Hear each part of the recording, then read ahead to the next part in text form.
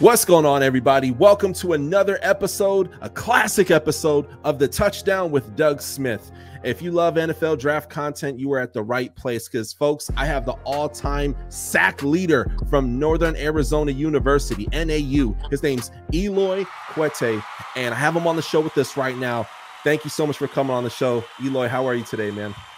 I'm doing good, man. Uh, thank you for having me on the show. Yes, sir, dude. Thank you so much for taking time out of your busy schedule, man, and and congrats on all your success in your college career, man. Thank you so much, man. That was quite an introduction. I think it's a honor and a privilege to be here with you. Man, thank you, brother. I appreciate you, man. Thank you so much. Um, man, today we just want to talk a little bit about your career, uh, what you have coming up in, in the coming months leading up to the draft. Uh, and then, if you don't mind, take us from the beginning. When did you first fall in love with the game of football? Actually, um, I'm originally uh, from Congo. That's where I was born, but I was a refugee in Zimbabwe, and then we, my parents uh, got opportunity to come to America, and then I came to America in 2016. But I used to be a rugby. I used to be really good at rugby, and then uh, our high school coach was like, "Hey, Eloi, uh, you you might actually like football. You might end up, you know, really loving football. Come give it a try." Yeah. And then I went to the field, and the first time I put the pads on, man, I fell in love with the sport. And uh, after then, I, since then, it's been like up since like you know since I put the pads on. I've never looked back since.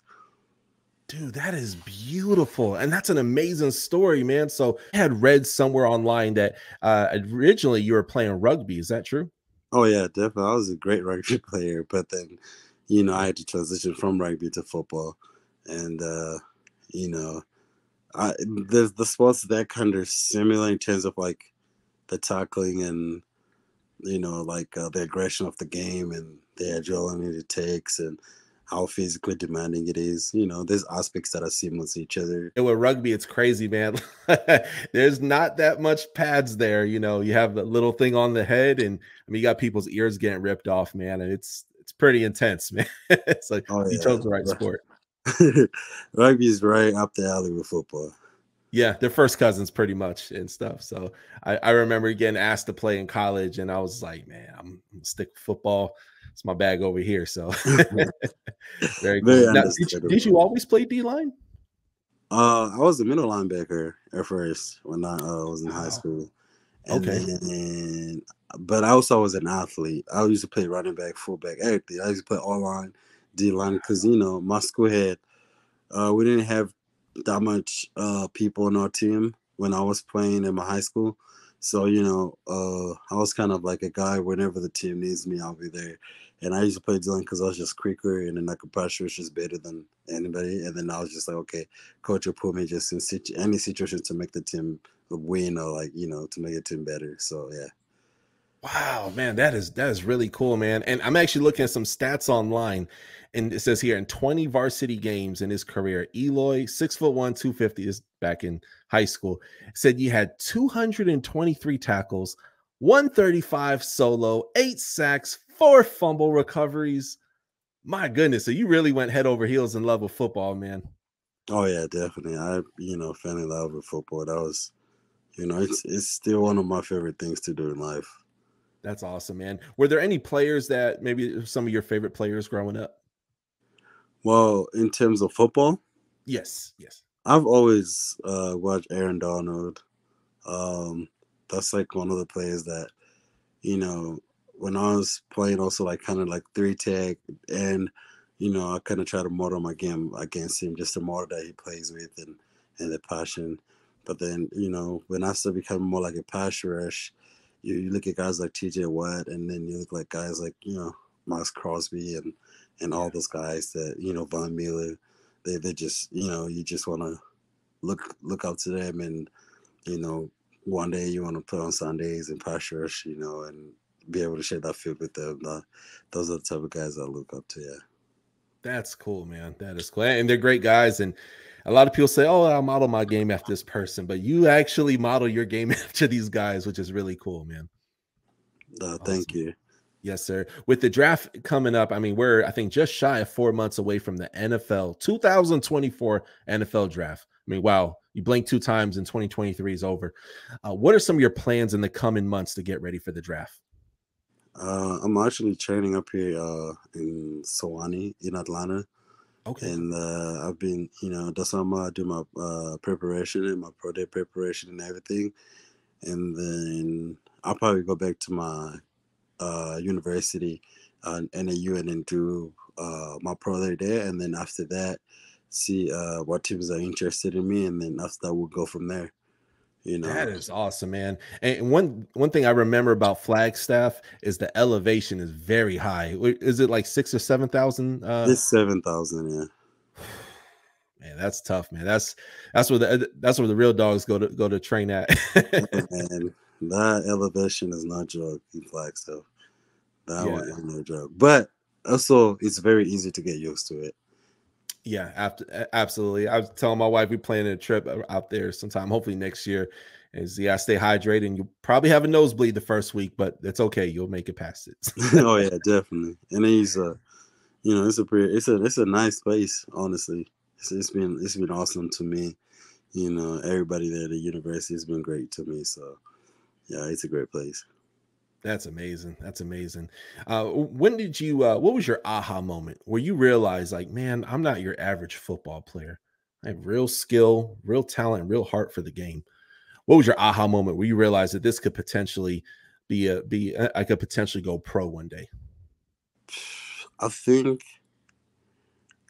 it's a sense of like deep belief. Like you, I go on the field.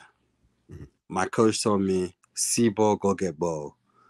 I was middle linebacker. See ball, go get ball. I was flying around my first game. I was flying around the practice, making plays, and and and, and making all this, you know, you know, chest down, talking people all over and just loving it. And uh, I'll see other kids around me, like you know, kids will complain and and all that, and I'm like, dude, you get to play football and you're complaining. Yeah. And you know, I mean, in high school level, I had accolades like all state, big school, like you know, first team, all state, and and then all that. Mm-hmm. Just getting those accolades, like I haven't even reached my potential yet, you know. And then I was like, huh, I could take this up a notch. And then I was like, okay, this is this is where it's going. This is what what I'm gonna do for a living. Yeah, that's why I made that decision. The first time playing football, I made that decision. Yeah. Dude, that is beautiful. I love it, man. Did did you have any nicknames growing up uh, playing football? Uh, they call me Big E. Big E. Okay, yeah. I can see that. Hence the name Eloi. yeah, they very, call me Big E. Yeah. Very cool, man. Well, what's in the headphones uh, on, on uh, you know come Sundays? I, I heard uh, you had a highlight playing online. I heard some Burna Boy on there, man. So, oh my God, Burna Boy, man, that's like one of my favorite artists, man. I love listening to him. Yeah. Yeah, Burna Boy is one of my favorites too. Uh, you know, Spotify at the end of the year, uh, mm-hmm. which I think it came out probably two weeks ago. It shows your recap for 2023, yeah. and Burna Boy was right at the top. Uh, I think it was uh, "Common Person." Uh, I'm a common person. That song. Okay, that's Dude, I okay, love that song.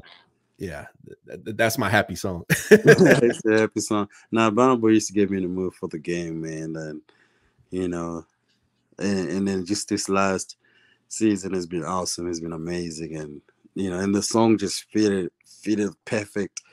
You know what I needed to get the message out there. Like you know, I gotta go, gotta go out with the banger. My college career, so you know, yeah, yeah, that's yeah, that's how we did, man. That's amazing, man. And uh, bring it back to your college career, man. You're the all-time sack leader for NAU, Northern Arizona University. That's amazing. Did, did I see correctly? 24 sacks. Were my eyes playing tricks on me? Uh, yeah, 24 sacks. Yeah, and uh, I think I finished the season with more, but I don't recall. I don't remember yet because I didn't keep track. Honestly, I just yeah. wanted to play football and have fun. Dude, that's awesome, man. You know, it's crazy. I, have met a lot of people on this show. I think you might be interview number 78, and I've been interviewing draft prospects uh, since Rondale Moore from the Cardinals, since his rookie year when I had him on the show and uh I meet some guy, not Rondale Moore, he's passionate for sure. But I meet some people and they're like, they crush and they're just not, man, their heart ain't in it. You could almost see it. And now that they've been in the league for a few years, uh, you just kind of like, ah, you know, they're you tell that they're just they're kind of worn down because the business side of it is, is is really frustrating, you know. Yeah. But man, you have like one thing I love about you, man, and your heart is that you know, you have like this almost like childlike love for football, and it almost brings me back to when I was a little boy, man. And I, I just want to say I appreciate that about you, man. Thank you. I mean, you yes. got to love football. You got to love what you do for a living, and and I just understand, you know, it's a privilege, and not a lot of people get to say they play football at a high level, and not a lot of people get to, you know, like live the experience of an athlete, be disciplined, wake up early in the morning, Mm, I think you know, it takes a special person to do that, and you know, and I feel privileged to be able to be put in that position to be given those opportunities to to to do that. Yes, sir. If you don't mind me asking, so what motivates you in life? The burning desire to compete and to live a life that I enjoy, and then I think I enjoy football. And then, but there's like other external uh things that motivates me, like family. You know, like you know, being being given the talent by God to to do what I do, and that everything every day putting in work is just goes back to show God like, hey God, thank you for the talent, thank you for the opportunity that you give me this body. I'll continue to work hard and and and, and, and you know, for you to be proud of the person I'm becoming. You know. Yeah. So yeah, my family absolutely definitely pushes me. My faith definitely plays a very key factor in what motivates me to play football. And then I think football, you can make a lot of impact. You know, people listen. You know, I do believe like people listen like to football players or athletes in general, just because they're just naturally born leaders. You know, they yeah. you know, they take the crowd with them, and once you're a football player, especially at the NFL level, you get to a lot of kids look up to you, just like how I look up to other athletes. You know, a lot of yeah. kids look up to you and they listen to you. So you just want to be a positive person, a, a, really good person, a role model that leads by example uh, for all these kids. And you know, I think that's the person I see myself as. So. That's amazing. That's amazing. Uh, w- once you're selected by an NFL team and uh, you really get your feet planted on a squad, uh, what would you say? Uh, you know, a lot, a lot of football players. You said it yourself. They're very uh, philanthropic. You know, uh, a lot of philanthropy. Excuse me, and they love giving back to the community, whether it's bicycle give it giveaways or building water wells or education. Are, are, there any things that are close to your heart that you would love to give back to the community? Oh yeah, definitely. I think uh, I'll give definitely to you know under underserved communities because I came from a high school that you know we didn't really get much. It was an inner city school, but also on the large scale, also I'll be very much involved in with refugees because I myself I'm a refugee, and uh, you know my parents played war and stuff in Congo. But I, I, you know, I do believe that once you know I get there, one of the things that is close to me, to my heart, is is uh, refugee helping refugees across the world. Yeah. Dude, and beautiful. and things like you know food hunger and and then all those stuff you know but refugees definitely and do you have a favorite defensive scheme that you like to play in oh no i've played three, four, four, three. I play all. I don't have a favorite one. You know, I'm an athlete overall. Yeah. That's yeah. awesome, man. That's awesome. And as we wrap up the interview, what's something you want NFL teams to know about you that they may not know already about you? Well, my desire is really is to have my name written again in the NFL books. I want to play for a long time. And I know dudes say, oh, they want to play football for a long time, be Hall of Famer, but I truly want to do this. Like I've done it at a college level where I'll possibly go in our school hall of fame, but I want to do it again on the on a bigger scale, and that's like you know one of the next next levels that I've written in the back of you know my book and be like, hey, this is my ultimate goal to be you know to be remembered, to impact the game, to change the game. You know what I mean? To be named amongst people that you know that celebrated for you know, for doing the job at a high level. So that's one of the things that I think it will be important for NFL teams to know that I'm somebody that is, you know, that that I want to achieve that goal, you know. Yeah, dude, I love it, man. And, and from high school, you know, you played running back, linebacker, D line. You were all over the place. I mean, well over 200 20 games, you know, well over 200 tackles. That's amazing. And then you go over to NAU, you crush it. I mean, you're again, you say yourself, you'll be in that school's Hall of Fame. Like you're one of the great, you're you're the greatest defensive player to ever come from that school, man. So, uh, man, that motor, that drive, that pushes you in life, man. Uh, man, God has a plan for you, man. And uh, Whew, big things are coming your way, my brother. For real, man. thank you. I appreciate you, man. You know, thank you also for having for giving me the opportunity to be here, man. I think it's it's huge and you know, just as helping us guys from small schools to get that exposure, yeah. I think is definitely a blessing. And uh, I, you know, I want to salute you for the great work that you're doing.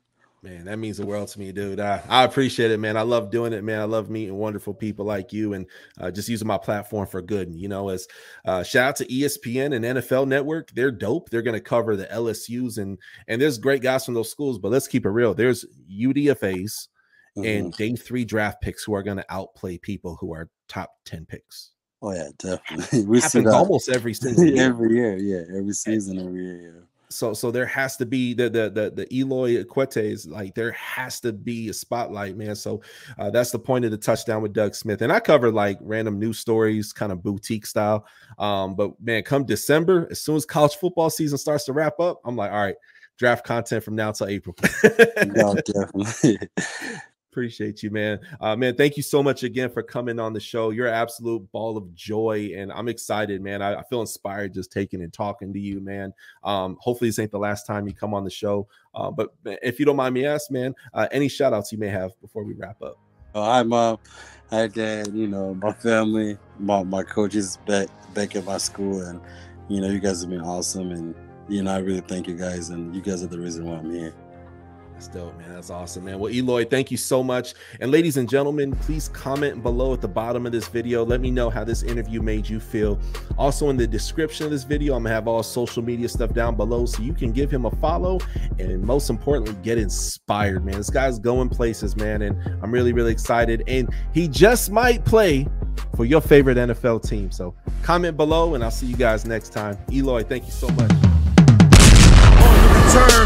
100 for the touchdown. King crown, gain inside. Leading your town. Hit you faster than the sound. Bad boy, throw it down. Yeah, I'm ill. Not my will. Don't cop a fill. Fill the house. Listen to the warm crowd. Drop a light, calm it down. Heisman, all the haters mouth. Superhero hit them wow. Packing more action than bing, boom, bam, pow. Touchdown for the win. We live. Subscribe right now. Thanks for watching another episode of the Touchdown with Doug Smith, where I cover all 32 NFL teams plus NFL exclusive interviews hit that subscribe button, hit the bell for the alerts, comment below, and we'll catch you next time on the Touchdown with Doug Smith.